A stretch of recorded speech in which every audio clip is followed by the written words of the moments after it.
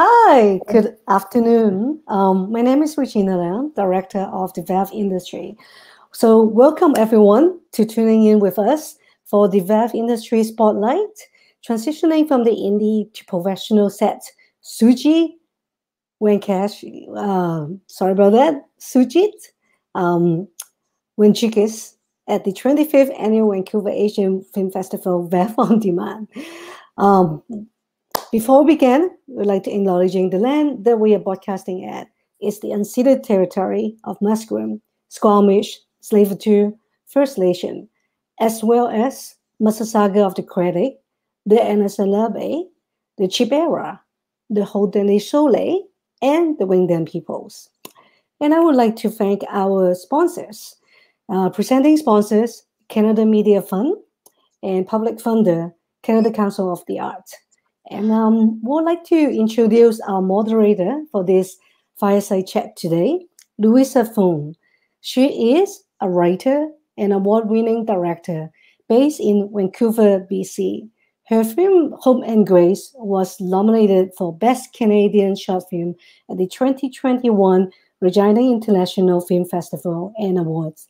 And she's currently developing her first stage play, Embers of the Past, with the help of Vancouver Asian Canadian Theatre, MSG Labs, and the Play, Playwrights Theatre Center.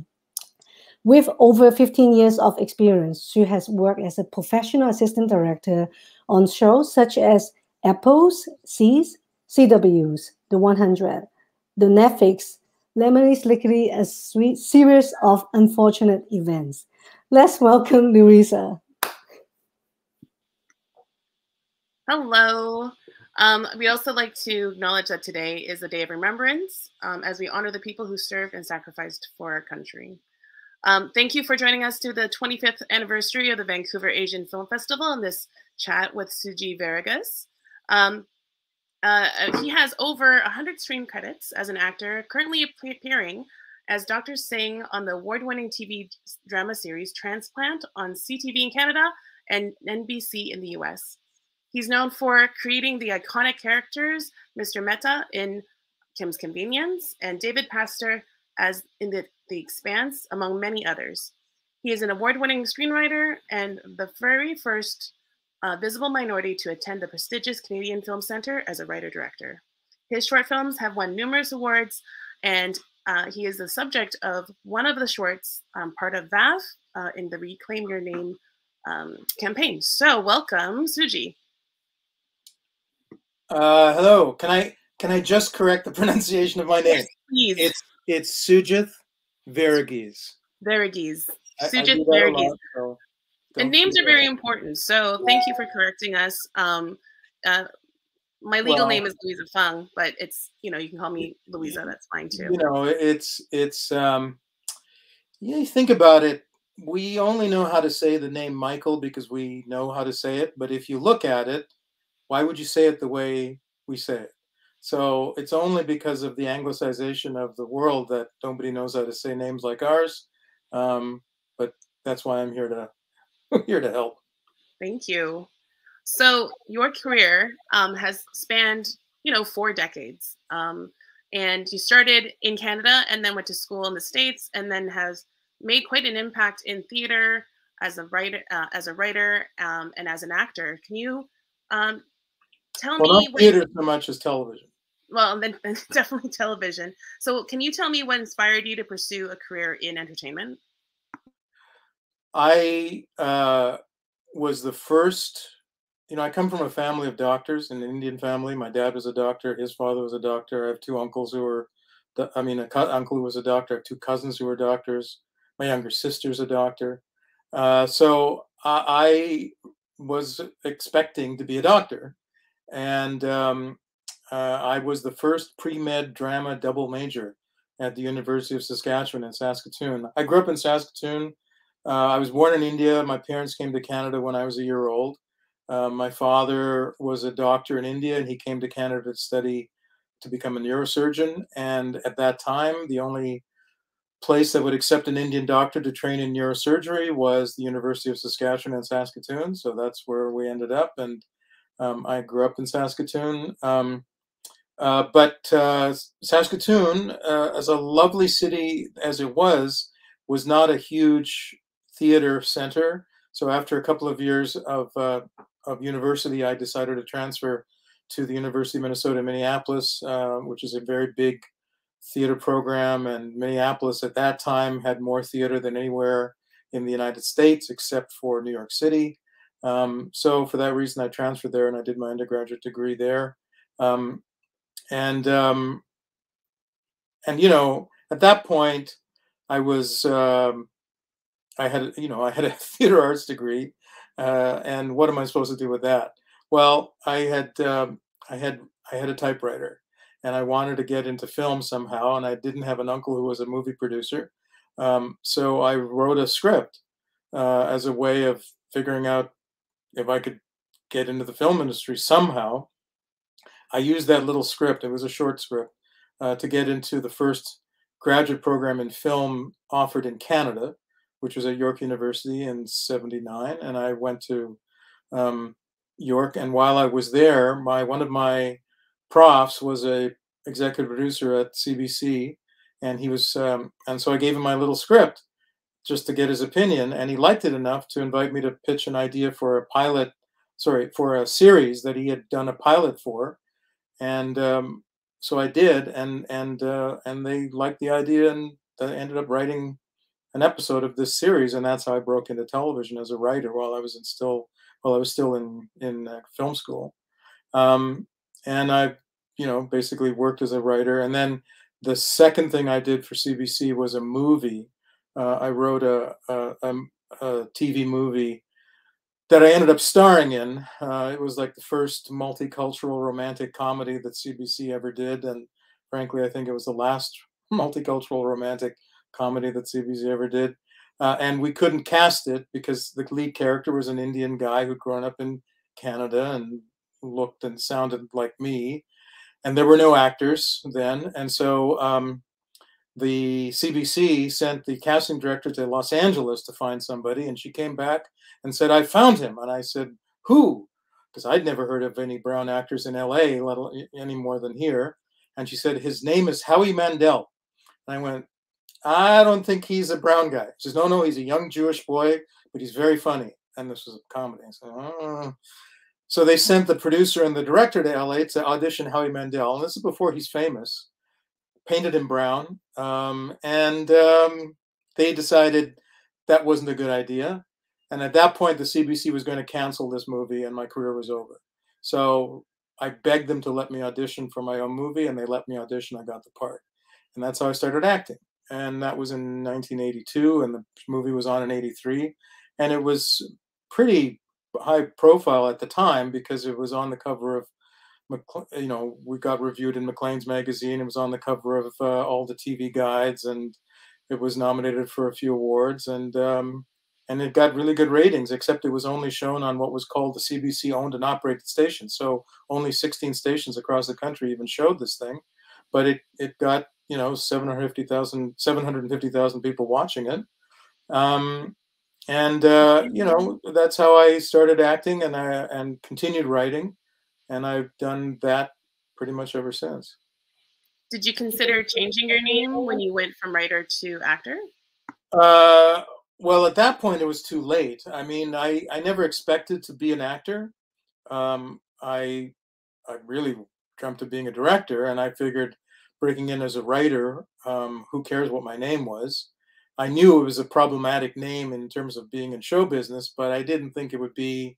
I know, you know, I was young and I I sold my first script pretty quickly, and you know, before I knew it, my name was on screen, and it was, you know, now it's too late to think about changing it.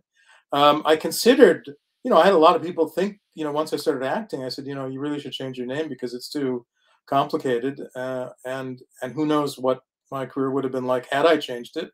But um, you know, I didn't. I'm I'm the only boy, you know, my sister's, uh, uh, and I don't have kids, so you know, my name was going to die with me. So I figured, well, at least it'll be on screen somewhere. So I kept it.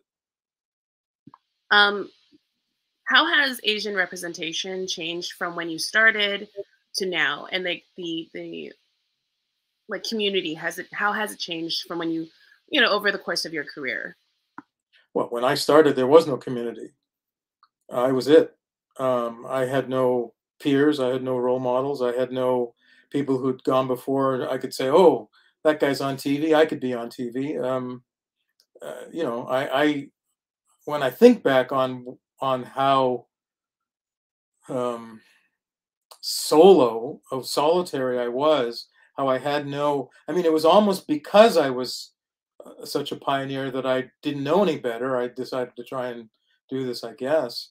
Um, but yeah, I, I, I, I mean, I even tracked in in my the first ten years of my career all the characters that I wrote uh, that got produced. I probably employed more uh, visible minority actors than any other writer in the country.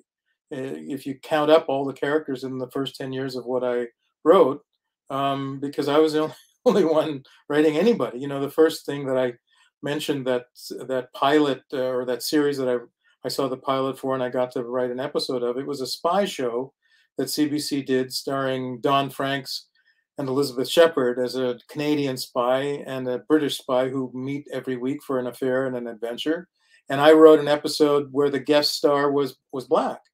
It was a black a young black secret agent who was whose wife had been beat up at a at a protest rally by what turned out to be Ku Klux Klan guys who'd come into Canada. And so, you know, there was this whole kind of cultural component to what I was writing even then. Um, and um, you know, so I, I kind of take a little bit of credit for keeping or getting people like myself employed on on TV screens, and at least in the in the early '80s and in in the early part of my career. But no, there was no community. Um, I would say ten years into it, the community started to to happen. So the people that I know who are working now, that's when they came into the industry, you know, in the in the late 80s, early 90s, and now it's a vast community. Uh, the the the you know the number of uh, both behind and in front of the camera. It's um, there's no there's no comparison. How does it make you feel to see that community grow? Well, I, am I'm, I'm thrilled. You know, I, I I can't imagine what it would have been like had I been trying to break into what is the industry now compared to what I was breaking into 40 years ago. Um, I mean, in a way, it's harder because it's more competitive. You know, I didn't have anybody to compete against. They either wanted me or they didn't want me, but they weren't choosing between me and another writer or another actor who, who was selling the same, you know, the same cultural or or, or physical or creative um, uh, material. So, you know, I, I mean, it's hard to say which which era was easier to be somebody like me trying to break into. Um, I mean, I just had my own experience, and that experience was that as, a, as of a pioneer. And looking at the community now, I mean, I sit on the board of AFBS, which is the pension and insurance program for the Writers Guild and for ACTRA, and I see all the stats. And our highest, you know, I mean, our highest earners are are in their 20s and early 30s, and there's so many series regulars and series leads who are brown and Asian now. Um, I mean, it's just uh, can't even compare to to like like I said, I had we had to we almost cast Howie Mandel because we we couldn't find somebody who, who looked like me. Um, when you were so you like both work professionally and independently, um, producing your own works as well as working within like the studio system um, as an actor and as a screenwriter. So can you tell me a little bit about producing on your own work versus working uh, on a on a professional level? I don't do very much um, independent work for myself other than in development. Um, like I don't, I've produced a few things that are sort of on the corporate and industrial side. Um, but in on the development side, you know, working developing projects, sure, that's that's that's me. Um, but so I would say that that you know, when I started, there was no independent industry, or or or not even in. I don't even know if it's an industry. There wasn't there wasn't an option for independent work. You know, um, it really was television, uh, movies. Uh, and movies were also sort of um, active uh, back then, but there was a but nobody and still to this day i don't think people make a living in in movies because they're so sporadic um, they might go back and forth between a movie and a tv uh, project but but you didn't really but you could you could uh, make a living in television and that's how i started i started in television series television in particular that's how most of the people uh, you know cultural issues aside that most of the people i know when i started. That's what they do. Um, it's it's a unionized you know industry and and you learn a lot on the job and you know you you become part of that that world where people know who you are and they hire you based on your reputation at that at a certain point and and you know it's it's a it's a it's an industrial uh, model um, i also work on independent projects mostly as an actor, sometimes as a writer, um, which are not. I mean, the, the, union issue is not quite as um, established. Um, they they're unionized in terms of the cast because I wouldn't work. I, I don't do non-union work, um, but they don't have to have union crews and stuff like that. Um, and you know, so I have a, I have a fair amount of experience working in both um, types of uh, of of of projects and and you know they are similar but not the same. In my experience. Um so was there um any roadblocks you encountered like coming up? And maybe or you know something that stuck out to you that really like maybe set you back for for a while and then and then you pursued anyways i'm sure there were tremendous roadblocks but I was so naive and so, you know, dumb. Uh, I I didn't I didn't see them. I mean, that's how I look at it back then. You know, like when I started acting, for example, you know, I had to write my own movie to star in and get that part in order to start acting. But after that point, how do I keep acting? Well, I knew that I was the only brown actor in the country, probably, but certainly in in one of the few in Toronto. And uh, I took my picture and my one line resume by hand to the casting agents that I knew. I didn't have an agent, just directly to the casting directors and let them know if you need somebody who's like me, I've got some experience now and I've been nominated for a, a award for acting in this movie and and people knew that movie and so they they were happy to to get that in there for their files. And um, I mean that you could never do that today. you know, like the industry is just not that open. You know, so on some level it was easier, uh, but on another level, I had to have the gumption to even consider doing that.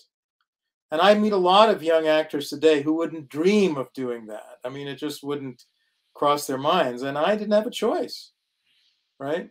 So you know, I, I, I mean, I, I, I don't think it's it was harder for me then, or you know, harder now. I think the the issues are just different. They're probably more um, opportunity. There's far more opportunity now than when I tried to break in. I had to create my own opportunity. Now there are, you know, there are programs that are soliciting diversity in their makeup. You know, so so it's hard not to be a little jealous of 25 uh, year old filmmakers nowadays showing seeing all this opportunity that I I I feel that I helped create, you know, by by saying, hey, you know, you can't just make it by luck and happenstance that I got to be in television. You know, you've got to make something happen because, you know, especially in our country where so much of our television and film industry is is really triggered by government subsidy, right?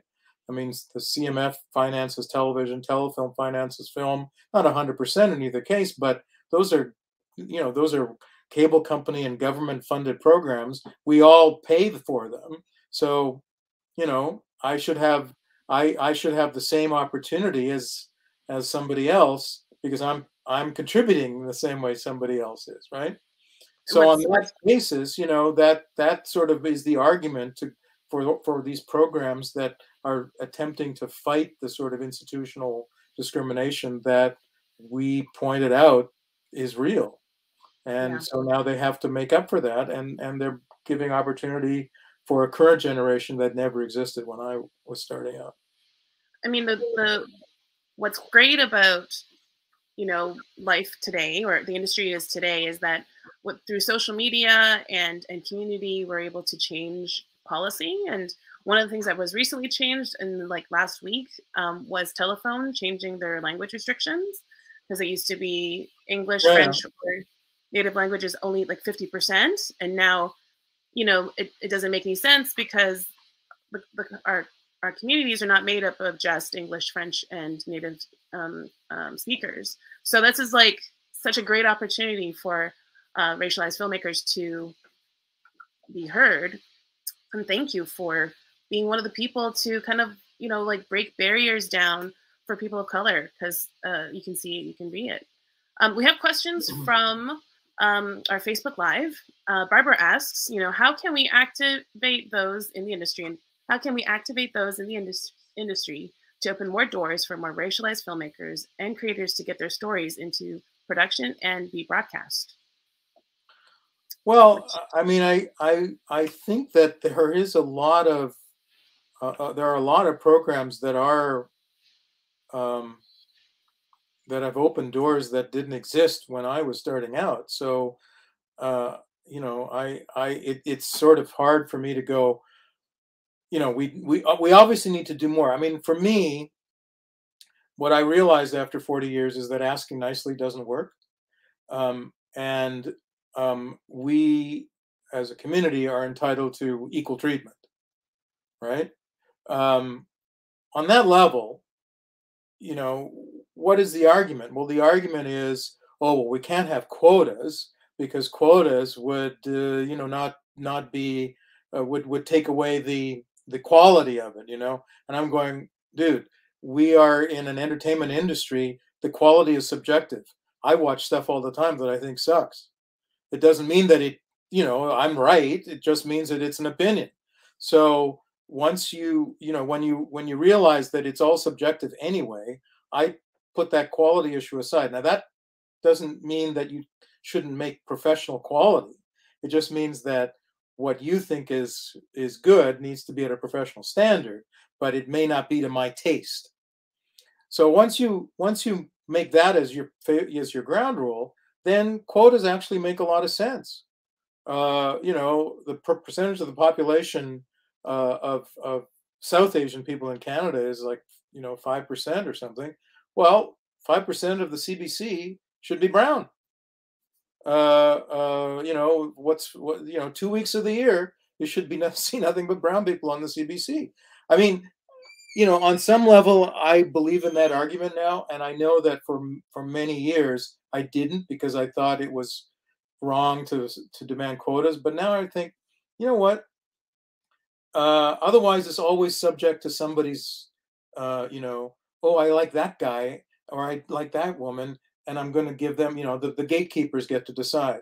And I don't know how much merit I put into gatekeepers anymore. You know, the, the gatekeepers, it's all subjective anyway. And, and we've seen that there have been questions called into gatekeepers uh, already in our industry. And, and maybe we should take the power of subjectivity away from the gatekeepers and, and just make it look, you know, maybe the show will suck, but it's part of that their their quota and and they deserve to have something on whether it's good or bad and hopefully if they do it they'll learn if it if it's bad to make the next one better you know but not yeah. to, not to give them an opportunity at all because you subjectively think they should you know that i don't think that holds water anymore and i think that you know giving people of color uh, the opportunity to actually show and to fail means that we're just going to get better and become like because if we don't fail then how do we get better? And so right I and totally here's the here's the caveat to that. Um, if i've been successful it's because i learned from the best. I i did not and and that's where i think there's a big gap and i what i talked about I think why we we chose this theme for this talk today is that what I was able to do by being able to break in when I did and then learn on the job in a you know the CBC it's it's a high level operation in terms of what you're expected to be able to do. You're expected to have to deliver professional quality product right? Um you you you know the opportunity to fail exists but it doesn't mean it's going to be on TV it means that you know okay that show's got got didn't happen and you know maybe you'll pitch something else and it might get further and, and get green lit but um, you know i had to learn the hard way on the job to improve what i was doing as a writer to get better as an actor to, to learn from the best as i uh, you know and i was working for people who were smarter and better than i was. I, I after i did that movie for cbc the next thing i did was i wrote for the muppets i wrote for Frank. I was one of the original writers for the now iconic TV series Fraggle Rock. I wrote 10 episodes. I worked for Jim Henson. Jim directed one of my episodes. You learn a lot working for the Muppets about how to tell stories on screen, how to create something that holds an audience's attention, how to make sense and communicate to a, a camera the story. And, and I learned real stuff doing that and if I made a mistake or if I failed, my script didn't get produced. I, you know, that was that was how it worked.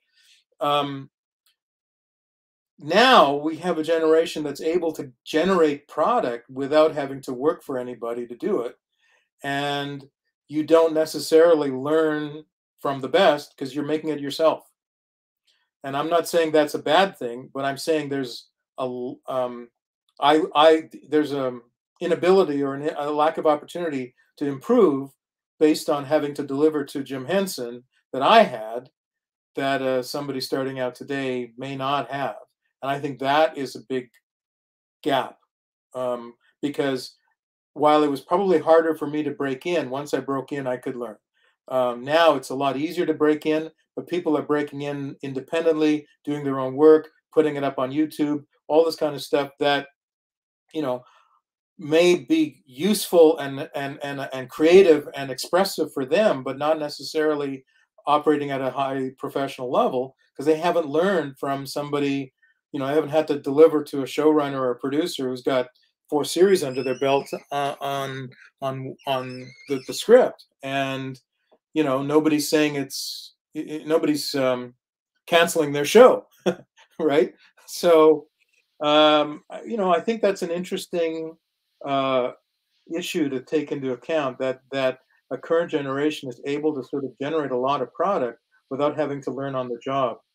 Um, and uh, like i did and i know that i know more now than i did when i started not because i'm so smart but because i learned from the best. And that opportunity is i think something um, uh, uh, this current generation may or may not have and I, I, I wish they did um, Clement Lau asks, um, with all the different platforms available to showcase your work, where would you focus on if you were trying to break into the industry today? Well, I think it depends on whether you want to make a living at it or whether you just, you know, you want to be expressing yourself creatively. If you want to make a living, um, it's television, at least in, in Canada. Um, um, you know? So if you're a, if you're a creator you need to go the you know it's a it's a basic route. You got to write scripts that you can then try and sell. You'll write a spec script you'll write a spec of modern family and then you'll write an original pilot and you'll network the hell out of yourself in order to get those scripts into the hands of people who could possibly hire you. And the fact is people get hired so it's not impossible to break in, and that's how they broke in. They wrote enough stuff, they had enough in their portfolio, and they met the right people and at the right time, and and now they're staffed in writing rooms writing for a series. And one or two of them will eventually get to create their own series, but it's not going to happen when they're just breaking, just starting. It'll happen once they earned their stripes and paid their dues and got a few shows under their belt and then you know they those people i mean that's how television works right um, and i think that's applicable in all all sectors of the industry whether it's behind the camera or in front or writing or directing or whatever. Um, if if you are just you know needing to to create something and get it out there, there's a million platforms and there's nobody stopping you. When I was breaking in, or you know, when I was in film school, you needed hundreds of thousands of dollars and a ARRI 16 millimeter camera, and you know, you needed a, a, a fair amount of support in order to to get something done, and that that wasn't easy to find. You know, this thing is a better camera than any camera that shot the first 20 years of shows I've ever been in. Right? So it's it's all doable. You just may not make a living at it. The platforms are there. The the democratization of the technology is there. What is important and what I don't think you can buy, you have to learn, is the the knowledge of how to tell a story. Um, and uh, that's that's hard to learn on your own, you know. That's why I say I learn from the best. If there's a piece of advice you would give Asian filmmakers and actors who are entering into the industry, um, what would it be? Read. Read. Like film books or anything, everything? If you want to write scripts, read scripts. Um, you know, I see you've got McKee's book over your shoulder. All those books are great, but you know, reading 10 screenplays is probably more valuable than reading one screenwriting guru's book. And none of those screenwriting gurus ever wrote a screenplay anybody paid money to see. So, uh, you know, I'm not saying they were wrong, but I am saying that Aristotle did that stuff first. But what you need to learn how to, you know, it's like being learning to be a carpenter. If you want to learn how to make a table, study tables. Learn what a good table is. Deconstruct the tables that you find to learn how to put them together. Take a course in joinery, you know. Um, and the same thing applies to creating, you know. Read you know, study the great masters. If you wanted to be a painter, you would go to the Louvre and and see what Da Vinci did and study the great masters. Well, our industry have great masters and and what's so incredible about your generation is that you don't have to pay for it. Like when I've started, when I had to learn how to write a script, there were no screenplays online to look at. There was no there wasn't even, you know, Syd Field hadn't even written his book yet. There was nothing. There was Aristotle and I went to a bookstore and I found two screenplays in published paperback form. I still have them Butch Cassidy and the Sundance Kid and Citizen Kane. And I read those two books a million times and deconstructed how those screenplays worked. And that's how I wrote my first script. Now I have 600 screenplays on my hard drive, all downloaded for free uh, from you know all sorts of legal sources on the internet. There is no excuse for for a filmmaker not to do, have done their homework and uh, and and I I get passionate about this because I used to teach and I found very few um, young people had actually done their homework so I would make references to movies or TV shows that they'd never seen, never read, and it, it, it drove me crazy because it gets to the point where they come up with this genius idea they think, and I say, oh yeah, that's exactly like that show I saw 10 years ago. And they're going, well, I've never heard of it. Well, it doesn't mean it doesn't exist. You're just, you're reinventing the wheel here. Right. But if you'd known what had gone on before, then you'd be able to build on that in with your own story. But if you don't know what's gone on before, you run the risk of just rehashing what's gone on before.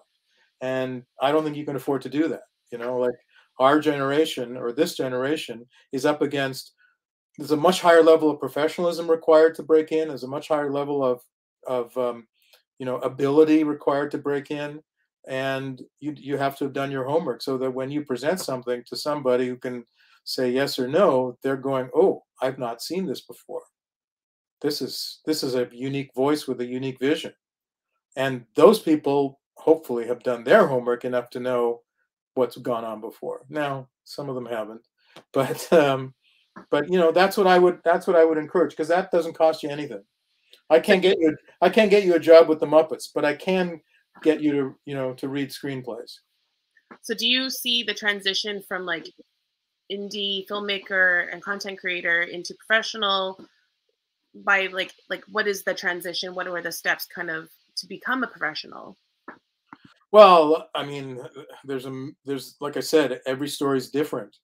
You know, my story on on on starting from scratch and becoming a working professional is my story. Everybody who is now a working professional, whether they've been doing it for one year or or 30 years, each story is different. But there's some common things, which is that they did their homework, they've got a portfolio, whatever that means. You know, whether if you're a, if you're a camera person, you've got a portfolio. If you're a actor, you've got a portfolio. If you're a writer, you've got a portfolio. It may not be stuff that you got paid to do, but it's stuff that shows your ability, shows you what you have to offer, and networking in whatever way you can to find the person who can put you in the place you want to be and uh, becoming part of the industry. You don't have to get a job to become part of the industry. You have to, you know, just become part of the industry. Do you know what I mean? Like it means like Yeah, going, to, to going to film festivals, meeting other filmmakers, making connections. But you can't just. I meet lots of young people who just do that. I'm going, okay, so where's your script? Well, I don't have a script. Well, then you're not employable, right? Uh, but then the other side is I've got, you know, the I I don't know if I've met anybody, but I'm sure there's somebody who's got all these scripts sitting on their hard drive, but they don't go to a film festival or they don't go to a face, they don't join the Facebook group or they don't do whatever it takes to become part of the industry. So nobody's ever going to read their material. You got to do both. So you both you have to both do the work as well as network to be known, so that way people can see that you've done the work and that you're an option for um, for leveling up and and bringing into the writing room. As maybe as a junior writer, um, or or as a you know uh, an actor on set. Now there's another question we have, um, and it's from I'm gonna I'm sorry if I butcher it, but it's Akshaya Patanayak. Um, as a Canadian actor, do you feel shortchanged since most prominent roles are cast out of LA? Well, that's an interesting question. Um, I don't feel shortchanged because I work uh, pretty steadily. Um, I would say there have been times when I felt shortchanged, but I, I, you know, it's such a, it's such a, uh, what's the word, serendipitous business that, uh, you know, sure, you, you lose one job to somebody who moved to LA but they're Canadian and they got cast in the show here once they moved to LA. I mean, we've heard a million of those stories, and I didn't move to LA. Um, and you know, you walk past um, in Toronto. There's the Walk of Stars, you know, on on King Street in front of the, you know, it's our it's the same as they have in Beverly Hills. But that walk of and you look at every single star on the sidewalk, and there are hundreds of them. But ours are not just uh, entertainment. There's athletes and all that stuff. But if you look at all of them in the entertainment industry, none of them live in Canada. Not one. Right? So we're, as a country, really good at patting the Canadians who left on the back. if you're so good, why are you still in Canada? Is sort of the mentality that we have. Um, so you have to recognize that that's our culture, that we don't really respect our own we only respect people who go elsewhere, get you know in some American show, and now oh then there's somebody good. But somebody who stayed here, you know, nobody cares. That's our culture. And, Well, now that we have but I, I but I platforms, sorry. well, now that we have streaming platforms like Netflix and Amazon, and now they're that we're not just beholden to American networks. Do you feel like Canadian No, but actors, those shows are, are still cast the same way. right? you know um so but what i'm saying is that that you could decide to be really you look if you're um i would not say don't move to la in fact if you're under 40 i would probably advise you to move to la if you're looking for a career path now remember that you're now you know where whereas before you had 100 people you're competing with now you have 10,000 people you're competing with but that's how it works um, and if you succeed, you're going to succeed in a way. You know, my friend Simu Liu is a good example. I mean, he got cast in Kim's Convenience when he lived in Toronto, and he knew well enough that, you know, as soon as he got that, he made his move, and he was in LA, I think, from season one or season two on, making those connections happen for him there, so that you know, season four he gets cast as the next Marvel superhero. You know, we knew that was going to happen on some level because he didn't stick around here. But to stick around here is you're saying something else. You know, I I um, choose to stay in Canada because I like Canada and I want to have the lifestyle that I have and all sorts of reasons that have nothing to do with with career path. And you have to make that decision for yourself. So so when the question is, do I feel shortchanged? No, I don't feel shortchanged. I recognize that's the reality of our industry, right? And what I um, what I've learned to accept is, yeah, I'm not going to have the opportunity as a same as a Canadian that went to LA, but I'm okay with that. Um, but I, I, I certainly wouldn't say you shouldn't go. I think it's actually makes a lot of sense for people to go, and and it, it but it is not worth being pissed off at, at people getting you know because that's how just recognize that's how the industry works. Have- and and it doesn't mean that you can't have you don't have the chance the same chance here you do um, but you know they're they're looking there first.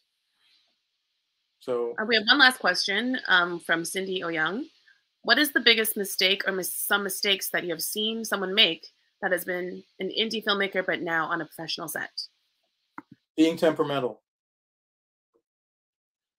Um, when i when i work on sort of the the the, the not student films, but the low budget independent projects, I see a lot more temperamentalness um, in in that on those sets, and they get away with that on those sets because you know it's it's not that nobody's going to call them on it. If they had that same behavior on a you know a, on a regular TV show or or you know unionized set, they'd be fired. So um, I would say you have to learn to be a pro, and temperamental temperamentality is not professional. You know, one of my mentors was Dan Petrie Sr. It was one of the great Hollywood directors, and but he's Canadian, and he directed A Raisin in the Sun and all these great films. And and he, he was one of my teachers at the Canadian Film Center, and he he would say to us, um, I'm the most temperamental person on a set, and I'm not temperamental. Anybody who's more temperamental than me doesn't is not there the next day. And you know that's that's the attitude, you know, and so I would say that's that is a clear demarcation. Do whatever you can to be a professional. Yeah, I completely agree. I I work as an AD on set, and um, as soon as a PA, very first day as a PA, which is a production assistant, as soon as you're on a union set, you are a professional. So you have to act accordingly. So um, I'd like to thank you so much for being part of VAFF, uh, the 25th anniversary, and this wonderful interview. And I'm just going to throw it to Regina. Um, again, thank you very much for joining us. My pleasure.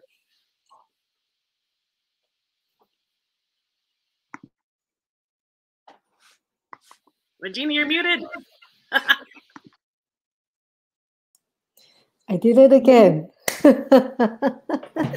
okay, thank you so much for everyone who um, uh, listening to our uh, fireside chat, and uh, thank you, Sugith, uh, thank you, Larissa, and um, to join us today. And they so um, we still have an ongoing with our VAFF on demand until uh, this Saturday. So today we just launched three international shots program. And um, one of the shot that uh, we mentioned earlier that with Sugith is in there is here's the subject with um, with that uh, five minute shot is under the Reclaim Your Name campaign. So it's in one of the shots program. Uh, it's called International Shots in Search of Purpose and Value. And then uh, tomorrow we'll launch Canadian Shots program and then also have a phone own filmmakers talk taking place at 5 p.m. tomorrow uh, Pacific time. And then if you want to see more different um, programs and panels, uh, go to vaff.org um, to learn more about it.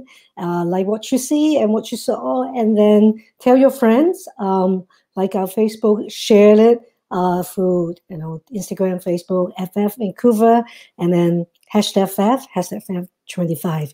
And um, thank you so much, and you guys have a good evening. Thank you.